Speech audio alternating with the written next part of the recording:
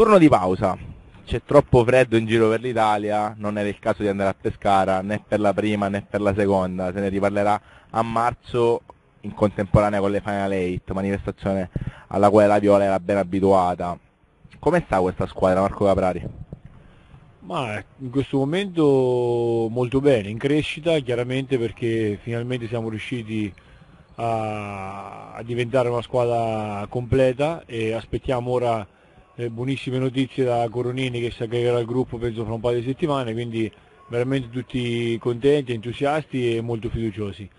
Abbiamo visto novità negli allenamenti, urlo prima di iniziare e alla fine, prima non c'era, ci hanno fatto notare.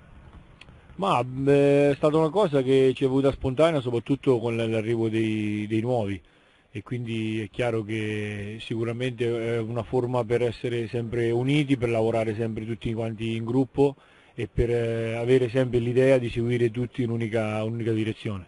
Parliamo dei nuovi, in tanti pensano che sia totalmente un'altra viola rispetto a quella di, di inizio stagione. Chiaramente non ci dimentichiamo che quella squadra ha navigato nelle zone altissime di classifica per tanto tempo, un cambiamento in meglio si spera, tu come la vedi?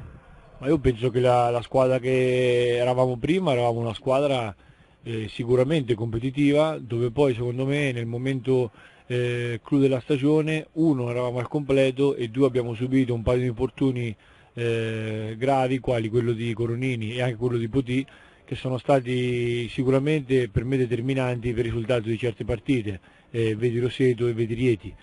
Quindi comunque la squadra è sicuramente competitiva, è chiaro che stava facendo sia la società e sia poi col cambio di guida tecnica con Domenico eh, la società si è accorta che mancava qualcosa, è arrivato il Lungo che era un giocatore che doveva comunque arrivare e ora ripeto aspettiamo il ritorno di, di Coronini e con l'arrivo anche di, di, Stefano Zampogna penso che siamo eh, completi e altamente competitivi. Questo, questo era l'obiettivo penso della, della società nel, rinforzare, nel rinforzare questa, questa squadra. Infiltrazioni d'acqua a Modena, al Palacalafiore c'è, un lago all'ingresso principale e oggi è saltato anche il parquet. Il vecchio coach della Viola una volta aveva messo una sedia in mezzo al campo, oggi sono bastate due bottiglie, c'è qualcosa che non va in questa città. Ma sicuramente non, non, sono obiettivo, sono sempre stato sincero e sempre lo sarò. Non si lavora nelle condizioni ottimali, questo non c'è dubbio, ma non penso che lo scopro io. Eh, noi ci adeguiamo sicuramente con, con, grosso, con, grosso, piacere e grosso sacrificio.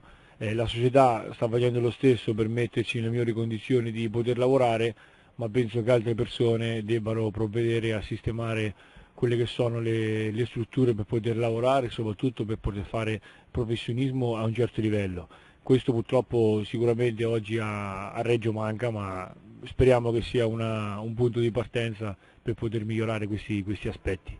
Domenica la Viola chiaramente ha riposato, al Palacalafiore ha giocato l'Audax, la squadra di C1. A un certo punto Gaetano Festino ha messo 4 bombe su 5, tutto il pubblico uguale a Caprari, come Caprari, ha lanciato una moda, una tendenza.